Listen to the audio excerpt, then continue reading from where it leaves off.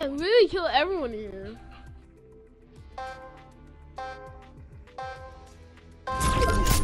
Yeah. Hell, I was dead. I was dead, and somehow I still killed everyone.